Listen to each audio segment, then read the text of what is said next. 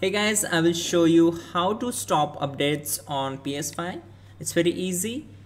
Go to settings, then select network, again select settings and we need to disable this option. Connect to the internet. Once done, just go back and from system, select system software and from system software update and settings, we need to turn off these two options. As you can see uh, my, my screen the both option is disabled once done just go back to the settings then select system again. Now this time select power saving. And from features available in rest mode you have to turn off these two options. If you see it's enabled then just turn off these two options.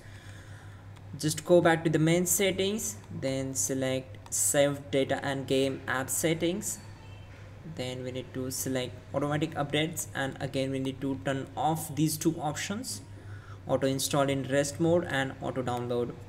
In the last method select users and accounts then go to other and simply select restore licenses and select restore.